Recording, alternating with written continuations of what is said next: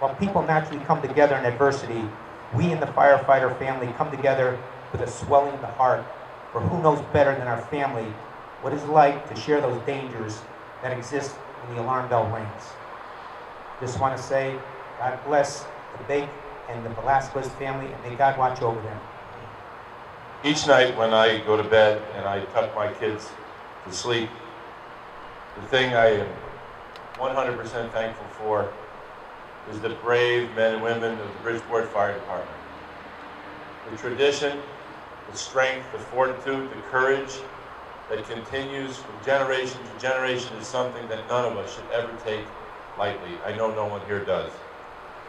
So I want to say to the families that we cherish the memories, but we cherish, most importantly, the service and the selfless acts that they gave each and every day, things that we'll never even know, whether it was in their training, in responding to an accident, in responding to a fire, in responding to a medical emergency, in responding to some senior being locked out of their apartment, or the cat in the tree. They were always there for us, and we will always be there for them.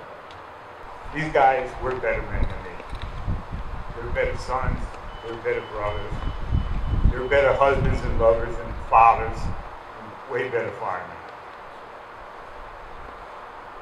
And I'm always going to remember those guys with tears, but more with smiles and laughter, because that's how I want to remember them. And that's they were funny guys. So I'm always going to remember them. I'm so proud that they let me be their friends and let me into their lives. And I know for one, I'll never forget them. Thank you. My name's Selena, and my daddy was a brave man, and he was my hero. I miss him every day, and I love him dearly. My father was the best. He is still in our hearts, and we can never forget him. Thank you, God.